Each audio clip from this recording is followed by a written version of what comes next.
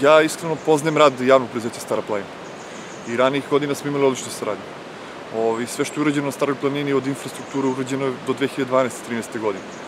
Ovaj, e, tu se promenila sad i upravljačka struktura, otišao je hotel Falkenstein, što mislim da nije dobar, dobar rezultat, ali osnovni cilj e, postojanja javnog preduzeća Stara planina je da radi na planskoj dokumentaciji i da dovodi, odnosno privlači investitore.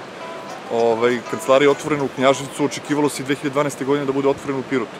Ovaj, na tim i takvim skupovima verujem da bi trebalo da budu svi turistički subjekti iz grada kada se već radi o razvoju Stare planine, ali iskreno moje mišljenje je da je slabo ili gotovo nikakvo interesovanje iz Beograda upravo za razvoj Stare planine. Kad kažem za razvoj Stare planine, mislim i na turističku infrastrukturu, ali i na putnu infrastrukturu.